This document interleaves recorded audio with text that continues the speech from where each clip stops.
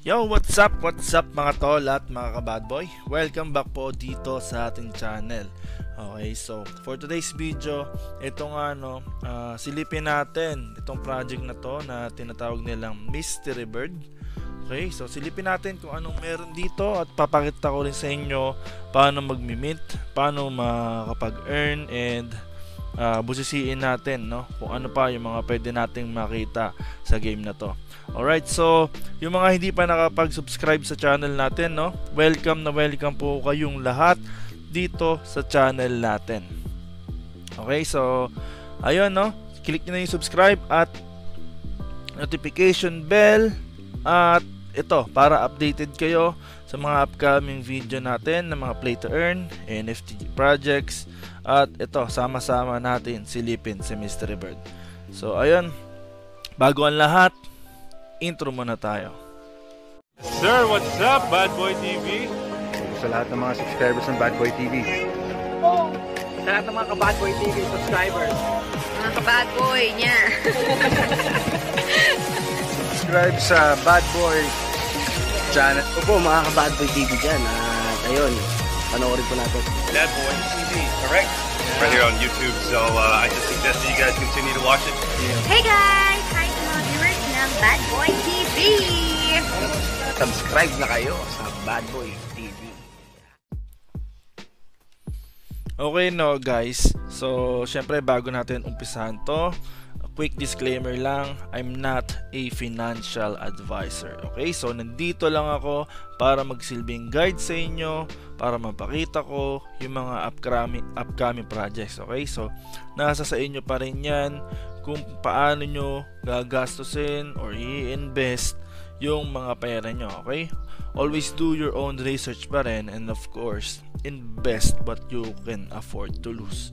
Okay, lagi nyo tatandaan yan. Alam naman natin na lahat ng mga NFT project, lahat yan ay risky. Okay, so, ayun, no? So, ito, ah, uh, silipin natin, no? So, sinasabi nga dito na stable and profitable daw siya. And, ayun, uh, invest to open the mystery bird, NFT blind box, and ayun, malinis daw na 365 days of stable income and 4% dividends every day. Okay, so sa ngayon hindi ako sigurado, no, since bago pa lang natin papasukin ito and eventually siguro soon uh, once na nag-profit tayo is ipapakita ko rin sa inyo. So sa ngayon, hayaan nyo na lang muna akong maging alay sa laro na ito.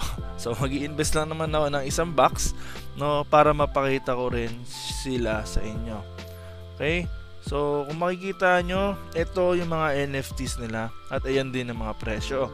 So yung mga box nila is ito, yung pinakamura which is si Black Box na nagkakahalaga lang ng 20 USDT. So rough estimate niyan is 1,000. C-Box naman is 100 USDT. At ang laman naman yan, is syempre rough estimate is uh, around 5,000. Ito 450 is mga ano to, mga 20,250. Okay? Kino-compute ko lang to sa halagang 50. Uh, pero ngayon medyo sa o around na to is around 52 no mag-53 na ang isang USDT palitan dito sa PHP or peso so ito naman 1000 USD T which is around 50,000 pesos yung kanilang Starlight box so syempre mas malaking investment, mas malaking earnings. Okay? Pero syempre, pag-aralan nyo din muna, no? So, ipapakita ko sa inyo yung table na nakalist sa kanilang Telegram. No? So, ito. Okay? So, sinasabi dito, okay, no? Na kapag ka nag-invest ka daw, na kanilang box, ito yung mga chances. So, pwede kayong makakuha ng box na nagkakahalaga ng $20, meron $10 and $30. Okay? So, random yan, guys. And ito yung possible daily income nyo. Okay? So, kung $20 lang yung in-invest nyo, ito yung magiging earnings nyo, which is 0.4. Kung yung nakuha yung blind box is 10 na nagkakalaga ng $10 or kung yung ito naman yung nakuha nyo, okay, swertihan to. Alam nyo naman sa mga minting. Okay? So kung pinalit-palit kayo at ito makuha nyo, is pwede kayo mag-earn ng 1.2 dollars per day. Okay? So, uh, yung pag-withdraw dito, kahit 1 dollar lang is pwede na kayong mag-withdraw. So, ayun lang naman, no? Kung makikita nyo, nakalagay na dito yung table ng monthly income hanggang annual income. Okay, so, ayan, no? And dito yung table ni 100 USDT, 450, and 1,000 USDT. So, kung 50k yung ipapasok nyo, is ito yung earnings nyo, no? Possible, 44 or 36 to 44. So, mga 2,000 pesos yan per day. So, kung legit yung project, uh, ayun yung possible earnings niya. Pero, inaanyayahan ko nga kayo guys na pag-aralan nyo muna, no? Uh, at ako, pwede rin ako muna yung magpakita sa inyo. And then, once na makita kong okay, sige, let's go. Sagudin na natin to. Bibigyan ko rin kayo ng signal, no? So, uh, inaanyahan ko rin pala kayo guys sumali sa aking Discord at nagpapag-giveaway po ako doon. Okay, so uh, maya maya papakitaan ko kayo kung paano mag-mint no. So kung papasukin niyo pala tong game na to, uh, mag-share na lang ako ilalapag ko yung referral link ko diyan sa inyong uh, sa description, okay? Kasi meron silang sinasabi dito na may percentage din, no? Ito yung medyo ayaw ko sa part na yun, no? Kasi parang nagiging networking, no, yung style nila. Pero, yun nga, kung may makukuha ka na investor, no, na galing sa refer referral link mo is may mag-earn ka nga. And ito nga yung table nila ron. So, kung makikita nyo, 20 USDT. So, yung first level ng referral bonus mo is 2 USDT.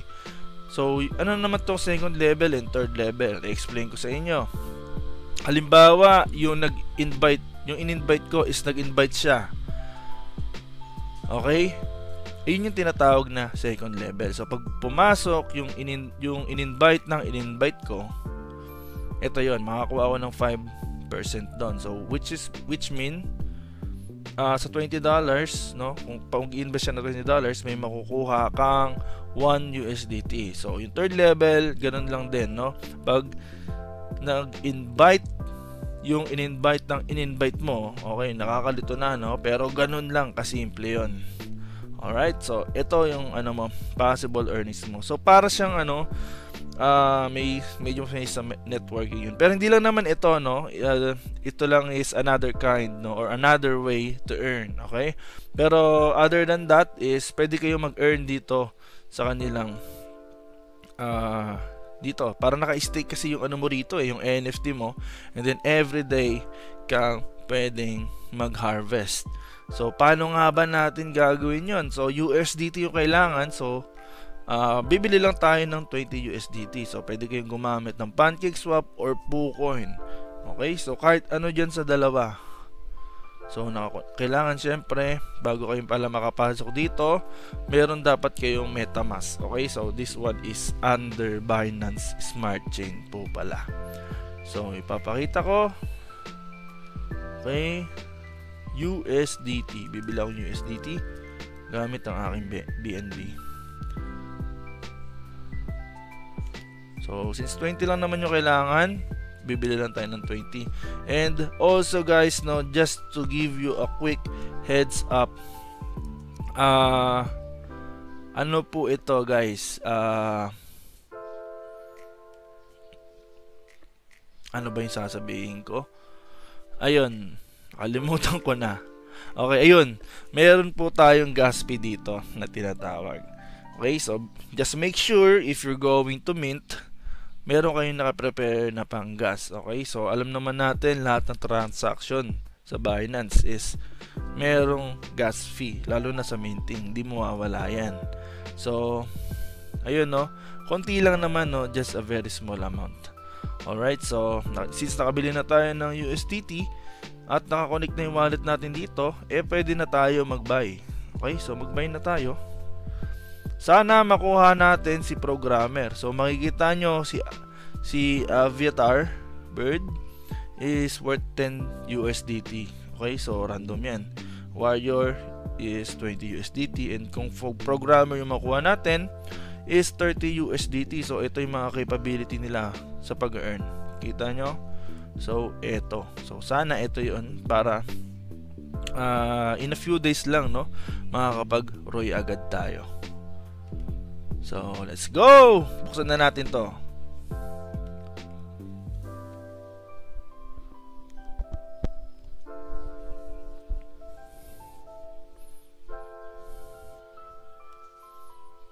Okay, let's open the box.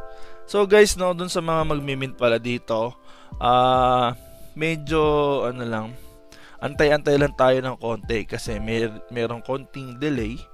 No, hindi agad lumalabas no sa ibang mga players. Yun yung mga nabasa ko nung nagre-research ako bago ko gawin tong review na to. So, may mga nakikita ko na delay po lumalabas yung kanilang mga NFT. So, ito, nagmi-minting na tayo.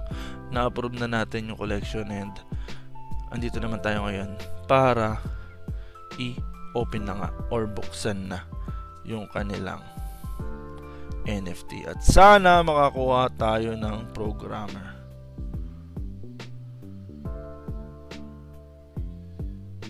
Eh, yan na ang sinasabi ko, guys.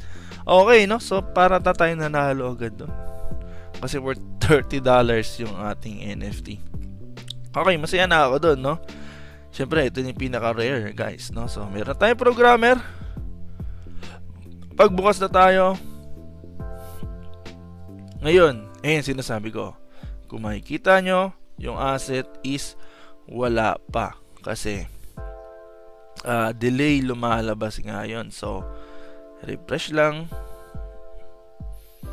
Pwedeng login, log out, pero alam ko sa ref- pag-refresh lang is lalabas din yan.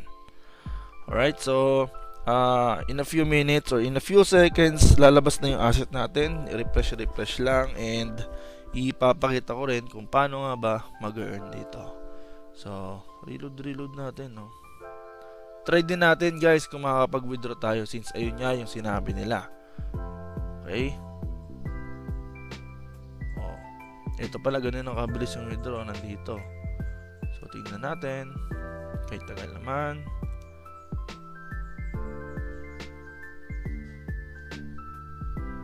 Mag-log out kaya tayo.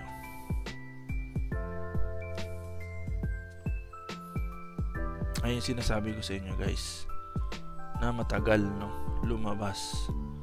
Nabawas na ba sa USDT natin? Kasi bumili tayo kanina eh o wala na dito. So, ibig sabihin, nag-count na yung binili natin. Pag ganyan, huwag kayong magpapanik guys. It's organic. Just in case man, no? Ayan na, lumabas na. So, kulang-kulang dalawang minuto din natin inantay. So, kung makikita nyo, earnings niya, ayan, for 365, interest rate is 4%, And yung name nga ng ibon natin is programmer. So makati-kati yan, malakas-lakas yan. No? Para lang dun sa word na nilabas natin no? which is uh, $20 nga. So ganito lang kasimple. Click mo yung harvest. Tapos na, nakapag-harvest ka na. And pwede mo siyang i-withdraw agad. Napakabilis. Pero syempre, pag withdraw may gas, no? So, silipin nyo, kung baka mamaya lugi kayo sa pag-withdraw, eh, ipunin nyo na lang, no? So, nakalagay nga dyan.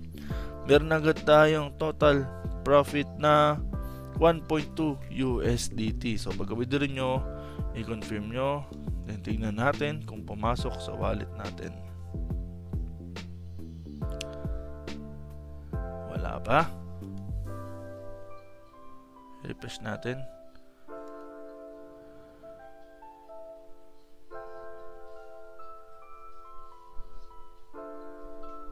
Na-withdraw ko na ba siya? Ayan. Oh. Have withdraw order. Wait. Wait daw. Okay, so ayun lang no. All we need to do is just to wait hanggang sa ma-approve yan.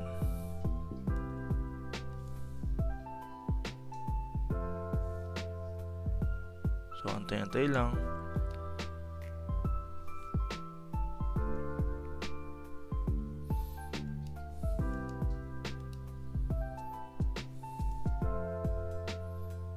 Ayan na guys, na-withdraw na natin. Ganun kabilis, no? So, meron na tayong 1.2 USDT. Alright, so ganun lang kasimple, no? Uh, pwede ko itong gawa ng update soon. Tingnan natin kung magpa-profit tayo. Uh, siguro kapag ka nakapag-grow na.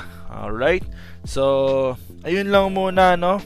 Uh, at kung may mga questions kayo, uh, join lang kayo din sa kanilang community or mag-comment lang kayo sa ating, syempre, comment section. So, ayun lang muna no ang ipapakita ko. At since ayun lang naman ang meron dito sa kanilang website. And ayun ha? Uh, kita-kits na lang ulit sa susunod. At syempre maraming salamat sa patuloy na pag-support. And kita-kits ulit sa susunod na video. God bless guys. Love you all